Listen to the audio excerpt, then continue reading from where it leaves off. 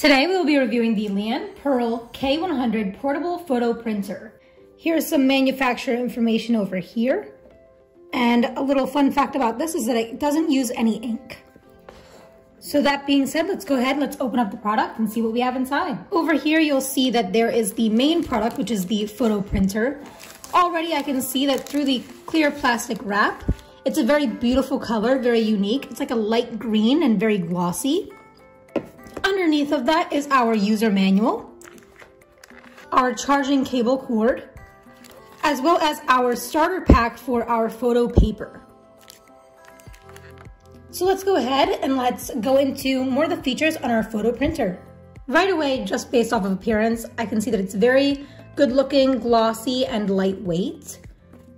And at the bottom over here, we have our feeding area for our photo paper to print from, the USB interface, as well as on the side over here, we have our power button. When you slide up over here, it will lock and allowing you to place your photo printer paper inside.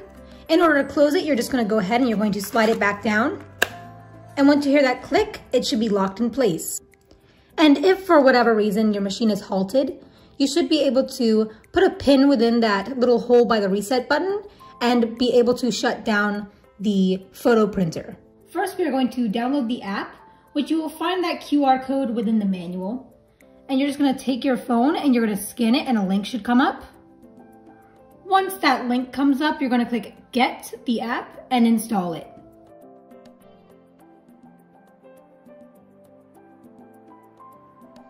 So before being able to select a photo and print it out, we're going to open our starter pack.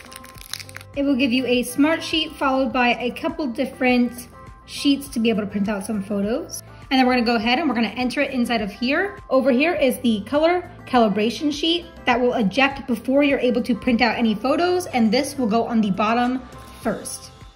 And we're gonna take this over here and just gently slide it in like so. In the bottom left corner, you'll see a little pen button and you're gonna click on that.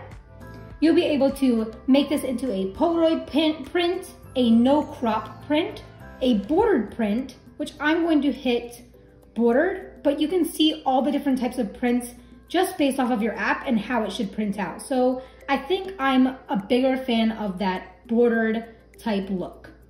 You can also choose amongst many different filters on the app and go through them and see which one you like the most. You can even adjust the enhancement as well. In my case, I'm gonna go ahead for a original finish. And you can adjust your brightness, which I'm gonna make it a little bit darker. Your contrast, you can sharpen your look. There are so many features on this app, as well as your sharpening look, which makes you look more chiseled, saturation, or a shadow. Once you're done, you're gonna hit done. And then you can print out one, two, three, however many copies you would like. And once you are finished that, you're gonna click print. and it will give you that notification to not hit the exit button during printing process. The side button will have a green blinking light to allow you to know that it is printing and you'll be able to hear it.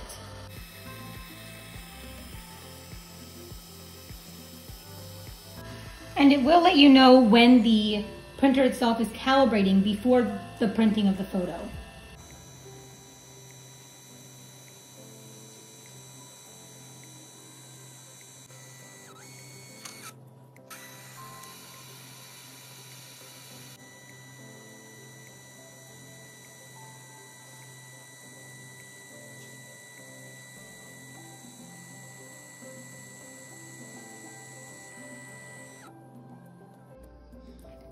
And our app just notified us that our printing is completed. So you can click the home button and go about that whole process all over again.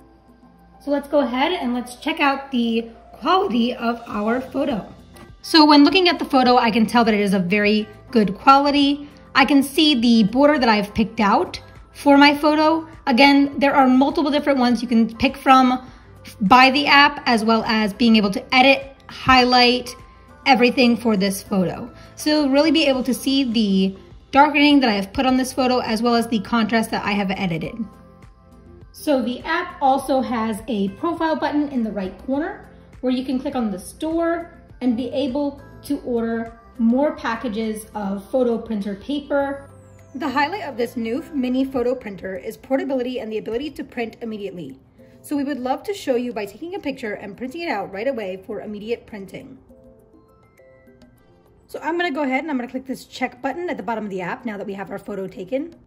And again, you can print as many copies as you want. In my case, I'm just gonna keep it the way it is and hit print.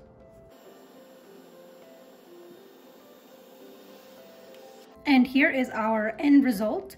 You can see that once you print it normally, it doesn't have the border or anything and it covers the full paper. The Liene photo printer can be purchased on the Liene website, and you have three different colors to choose from ranging from pink, white, and green. And the product here only costs $67.99. To conclude our review on the Liene K100 portable photo printer, I will say that I love the fact that it has that DIY photo via the app where you can enhance your photos with filters, effects, and borders. I also love that it has that ZINK zero ink technology that is waterproof, tear resistant, and smudge resistant, so you don't have to worry about your photo getting messed up. It also has a photo paper that has an adhesive on the back. So if you wanted to, you could also peel off this back part over here, being able to put this on, say, your notebook, the back of your phone, it also has that Bluetooth transfer for iOS or Android, which is very handy. You can use it on your tablet, your phone, and you'd be able to bring this product with you anywhere because it is pocket sized. So that is definitely a benefit. So if you are in the market for a portable printer, I definitely recommend the Liene K100 portable photo printer because it will fit your needs best and you can also buy separate photo papers via the online store on the app or via the link in the video description. And we will see you guys next time. Hopefully you liked our review.